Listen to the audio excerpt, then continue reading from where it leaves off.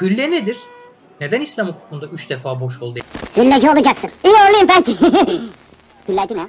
Yani aslında mesele şeyle alakalı. Ee, İslam evlenme ve boşanma illa imamlı olması gerekmiyor. Yani öyle bir şart koşulu yok aslında bakarsanız. O nikah aslına bakarsanız imam huzurunda da olmazdı. Kadı huzurunda olurdu. Çünkü niye? Kadının bir sicili vardı. Kadının defteri vardı değil mi? Oraya kaydediyordu. Hüccet veriyordu. Yani işte o zaman ne oluyor? İspat açısından kolaylık sağlıyor. O zaman taraflar diyebiliyor ki biz şu gün evlenmiştik. Şu kişiyle şu, kişi- şu kişi şu gün evlendi. Bu evlenme akdi inşa edilirken arada şöyle bir e, şartlar belirlendi. İşte ne bileyim şöyle bir e, mihri muaccel belirlendi. Şöyle bir mihri müeccel belirlendi. Onların hepsi yazar kadının sicilinde. Onu hüccet olarak ayrıca verir taraflara da. O ispat açısından kolaylık sağlar. Dolayısıyla kadın huzurda kıyılması aslına bakarsanız şeydir. ispat açısından kolaylık sağlayan bir şeydir. Şimdi bu boşanmanın 3 defa olmasına geldim. Bu aslına bakarsanız e, çocuğun nesebiyle alakalı biraz. Yani e, aslında erkek bir defa boş ol dediğinde evlenme akdi sona erer. Evlilik biter, nihayet erer. Evlilik son bulur. Fakat kadının ilk kocasından boşandıktan sonra tekrar başka bir adamla evlenebilmesi için yani yeni bir nikah akdi yapabilmesi için belli bir süre beklemesi gerekiyor. Şimdi buna e, iddet müddeti diyorlar. Yanlış bir kullanım, hatalı bir kullanım. Çünkü e, iddet müddet aslında bekleme beklemesi zaman zamanlı süre süresi demektir. İddet ve müddet aynı şeydir aslında bakarsanız hatalıdır, yanlıştır ama kullanılır. Herkes de anlar böyle denildiğinde. Dolayısıyla evet iddet müddeti nedir? Kadının boşandıktan sonra tekrar evlenebilmesi için geçen süre. Aslına bakarsanız bu sadece İslam hukukuna has bir müessesesi, müessese de değil. Yani diğer başka hukuk sistemlerinde farklı uygarlıklarda da biz bunu görüyoruz. Çünkü neden? Biyolojik yapımız aynı.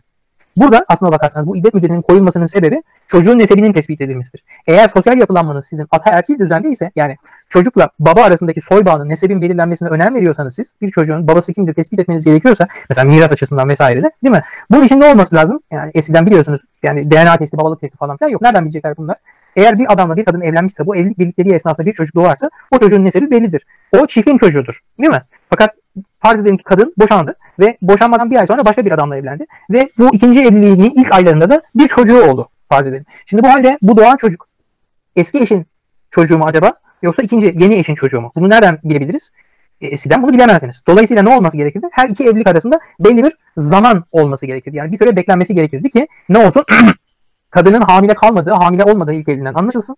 İkinci evliliğinde doğum yaptığında artık aradan böyle bir zaman geçmiş olacağı için ve biz insanlara her yerde her zaman 9 ay 10 gün yaklaşık olarak bir gebelik süremiz olduğu için dolayısıyla iki evlilik arasında böyle birkaç aylık bir süre konur. Bir bekleme süresi, bir iddet müddeti. Bakın bekleme süresi dedim. Yanlış süre, bekleme aynı şey. İddet müddeti konur. Şimdi dolayısıyla işte İslam hukukunda da erkek boş ol dediğinde aslına bakarsanız evlilik son bulur. Fakat arada bir zaman vardır iddet müddeti. Bu iddet müddeti henüz dolmadan, nihayete ermeden erkek pişman oldum diyebilir. Cayma hakkı vardır. Bu halde evlilik sanki hiç son bulmamışçasına aynen devam eder. Sanki taraflar boşanmamışlar, ayrılmamışlar gibi aynı evlilik birlikteliği sürdürülür.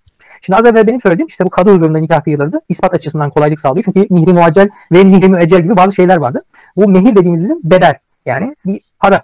Şimdi mihri muaccel ve müeccel yani biri acele olan, öncü olan yani evlenme esnasında verilen bedel. Öbürü de mihri müeccel, ecel sonradan gelen yani boşanma halinde ödenen para. Yani bir nevi kadın için aslında o bir sosyal güvencelidir. Yani mihri müeccel olarak belirlenen bedel çiftler boşandıklarında kadına ödenir. Kadının ona hayatını geçin, idame ettirir. Yani onun için bir güvencedir. Fakat şimdi erkeğin cayma hakkı var boşanma durumunda. Yani boş oluyor sonra ben caydım diyebiliyor. Şimdi şöyle problem oluyor o zaman. Erkek önce boş ol der. iki ay geçer caydım der. Sonra tekrar boş ol der. İki ay geçer gene der. Sonra tekrar boş ol der. İki ay geçer gene der. Kadını iki arada bir derede bırakır. Yani evli deseniz evli değil. Çünkü o aradaki o boşanmayla iddet müddetinin dolmasına kadar geçen sürede evli sayılmazlar aslına bakarsanız. Geriye dönük bir işlemdir. O şey eğer caydığı halde o aradan geçmiş olan süre sanki evlilik birlikleri hiç son bulmamışçasına kabul edilir. Değil mi? Şimdi ne olmaya başlıyor o zaman? Erkek kadını iki arada bir derede bırakabiliyor. Niye? Onu işte şey yapacak, kısıracak, zulüm edecek. Diyecek ki seni gerçekten boşanmamı istiyorsan bu mihri müeccelini affet. Ne olacak? Onun o hakkını elinden alacak. Gasp edecek. Yani onu zorda bırakıyor bu şekilde. Ne oluyor? İşte bunu yapabilemesin diye. Buna engel olmak için sınır getirilmiş. Üç defa cayma hakkım var. Yani boş ol dersin. Mesela erkek boş ol dedi. İki ay sonra ben pişmanım karımı çok seviyorum falan dedi. Ondan sonra evlilik bağı aynen tekrar devam ettirilir. Aradan 3-4 ay geçer, 7-8 ay geçer, 1 sene geçer, 2 sene geçer. Erkek tekrar boş ol derse ondan sonra gene bu iddet müddeti beklenir. Fakat iddet müddeti dolmadan hemen önce erkek yine ben ya pişmanım karımı çok seviyorum vazgeçtim falan derse tekrar evlilik bağı geri döner. Bunu iki defa yapar ama üçüncüden sonra bunu bir daha yapamaz. Dolayısıyla üçüncü defa boş ol dedikten sonra iddet müddeti süre- süresi dolduğunda evlilik birlikteliği tamamen sona erer. Bu halde de artık mihri müeccelini ödemesi gerekir erkeğin kadına. Evet. Şimdi, Şimdi kadına. Şimdi üç defa sadece boşanma hakkı olduğu için tekrar aynı kadınla bir daha evlenemezsiniz çünkü bir daha onda boş ol hakkınız yok. Yani o şeyi birlikteliği tekrar tesis ede- edemiyorsunuz. O zaman ne oluyor mesela? Bunu işte böyle etaptan böyle dolambaçlı bir yoludur. Hi- Hile-i şerriyedir biraz bu hülle dolayısıyla. Yani adam işte bo- boşanmış, ölmüş, boşanmış, ölmüş, boşanmış, ölmüş diye şeklinde de olabilir. Ya da tek seferde tek oturumda da üç defa peş peşe boş ol, boş ol, boş ol, boş ol da diyebilir. O zaman bu hani ben gerçekten ciddiyim bunun geri dönüşü yok demektir. Ama bununla ilgili bazı mezhepler arası tartışmalar vardır. Kim mezhepler tek seferde üç defa söylenmesi aslına bakarsanız tek boşanmadır. Der. Kimi mezheplerse tek celsede 3 defa söylenen boş ol 3 boşanmadır. Bir daha bunun cay- cayması yoktur der. Değişir bu. Ama netice itibariyle 3 defa şey var. Cayma hakkı var. Yani geri dönme hakkı var. O evliliği kurtarma hakkı var. Fakat ondan sonra bir daha böyle bir hakkı olmadığı için o evlilik bağı artık sona erdiğinde yani 3. boş olduktan sonra iddet müddeti dolduktan sonra bir daha boşanma hakları yok evlenemezler. Nikah düşmüyor. Ne olması gerekiyor? Kadın eğer başka adamla evlenirse o adamla da 3 defa boşanırsa ve o adamla da 3 defa boşanmasından sonra gene iddet müddeti dolarsa ondan sonra tekrar ilk başta evlendiği eski kocasıyla kadın tekrar evlenebilir. Ve bu sefer gene tekrar 3 defa boşanma hakkı vardır. Şimdi anlatabiliyor muyum? Dolayısıyla şimdi bu 3 defa boş ol meselesi aslına bakarsanız orada bu mihri müeccelin affettirilmesine engel olmak için bir güvenlik mekanizmasıdır bir yerde. Şimdi bu bilinmezse mesela neden üç defa boş ol deniyor o anlaşılmaz. Yani çok böyle şey gelir hani e, manasız gelir, boş gelir, lüzumsuz gelir. Sanki böyle bazı sihirli sözcükler söyleniyormuş gibi abrakadabralar gibi. Niye üç defa söylüyor? Bu yüzden. Anlatabiliyor muyum? İşte bu şey yani mihri müeccelin affettirilmesi için kadına zulmederek tekrar tekrar boşanıp geri cayma, boşanıp geri cayma, boşanıp geri caymaya engel olabilmek için aslına bakarsanız ortaya konulmuş bir müessesedir. O talak selası üç defa boşanma. Şimdi dolayısıyla nedir işte biz bu hukukayı anlatıyorken mesela tutup ben size eski İslam hukukunda evlenme, boşanma, miras hukuku falan filan anlatıyorsam günümüzde bir hukukçu olarak bunları uygulayacağınız, kullanacağınız için demiyorum.